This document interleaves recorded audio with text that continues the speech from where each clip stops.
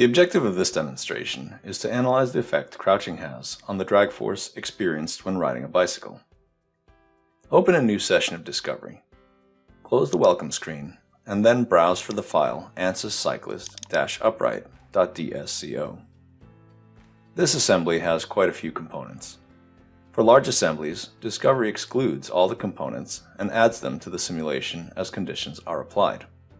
Right-click in the background of the main window and select Include All in Simulation to ensure that the entire cyclist is taken into account before we get started. To begin defining the simulation, click the External Flow button in the toolbar. Zoom out to get a better view of the enclosure, indicated by the wireframe outline.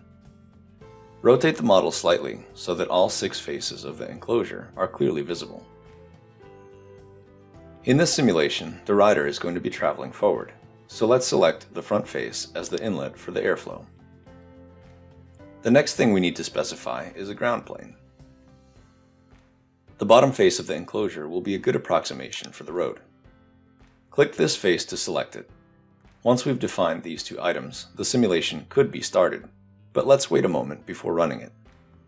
Rotate the model to the opposite side of the enclosure, and click the Y-axis in the Orientation tool to align it with the screen. Before we continue, we need to make a few more adjustments to our operating conditions. The boundary conditions can be found in the physics tree on the left side of the window. Right-click the Water Liquid entry and select Edit.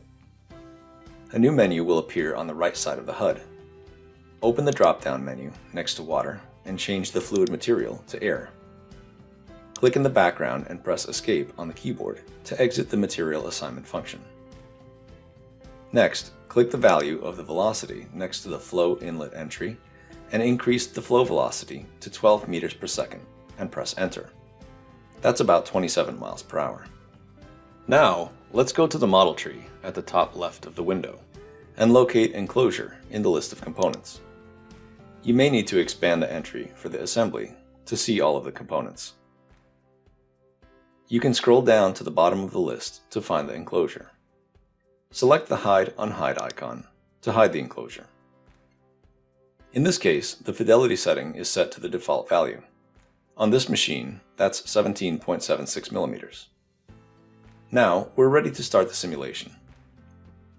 Locate the green Solve button in the bottom right corner of the window and click it. The simulation will begin running. Let's turn the streamlines off for now by clicking the Streamlines button. Show the contours by clicking the appropriate button in the results panel.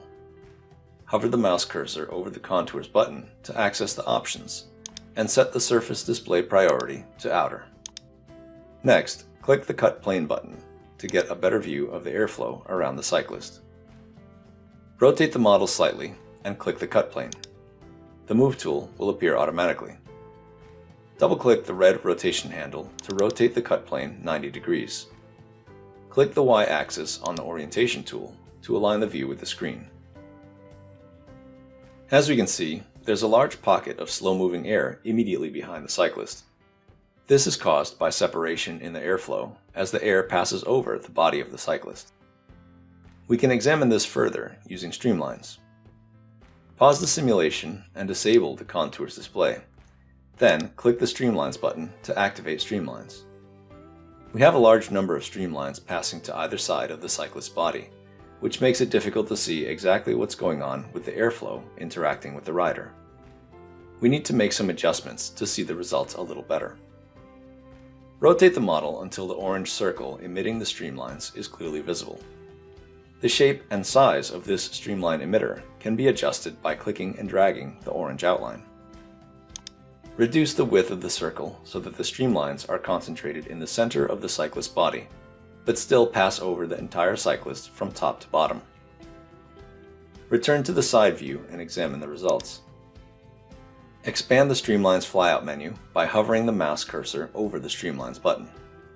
Here, we can control the thickness and total number of streamlines, as well as whether or not they are sent out from an emitter with a specified shape or uniformly across the area of the flow inlet face. We have a pretty good indication of where the airflow is separating just downstream of the cyclist. Let's go back to our surface velocity display by disabling the streamlines and enabling contours again. Let's create a monitor to calculate the drag force being exerted on the cyclist in this upright position.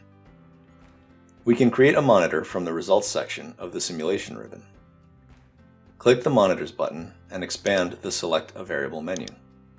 Select Force, then click and drag a box around the entire cyclist and bicycle. The drag force will be parallel to the airflow, which is traveling in the x direction, so ensure that the x direction is selected on the right side of the HUD. Then click the green check mark. The monitors panel in the upper right corner of the main window should expand automatically. Right-click the new monitor and select Rename. Give the monitor a new name.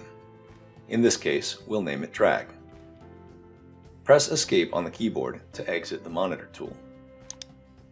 Once we create the monitor, it will automatically report some results. Make a note of the drag value for the rider in this position. Now that we've obtained some results for the rider in the upright position, Let's check if changing the position of the rider's body has any effect on the drag force they experience. You can save the first session here. Go to the File menu and click Open. Locate ANSYS cyclist-lower.dsco and open it. As we can see, the position of the rider has changed. The simulation has already been configured for you, so just click the Solve button to run it for the new rider position. Adjust the results display as we did for the last file, and examine the quantity reported by the drag monitor when the simulation is done. As you can see, the quantity reported for the drag is significantly lower than what it was for the rider in the upright position. Looking at the velocity profile, we can also see that the large blue pocket of slow-moving air behind the torso is no longer present. This means there's much less separation in the flow as the air passes over the rider.